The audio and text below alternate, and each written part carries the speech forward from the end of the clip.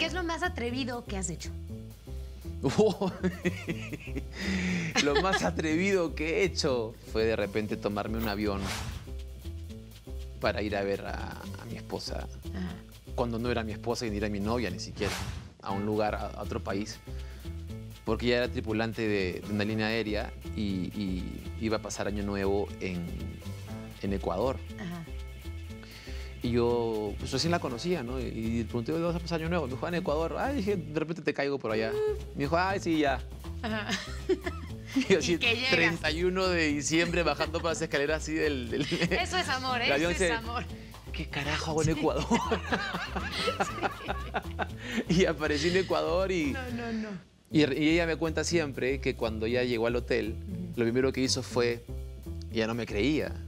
Fue como medio sorpresa. Sí. Y lo, primero que hizo fue marcar a la operadora, decir, por favor, me comunica con la habitación de llamar con Ciñago, con ella la esperanza que le, que le dijeran dos cosas.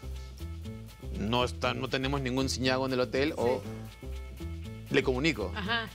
Porque ya me conté en qué hotel se quedaba. Ajá. Le dijeron, y lo la comunicaron. le comunicamos y ahí se murió.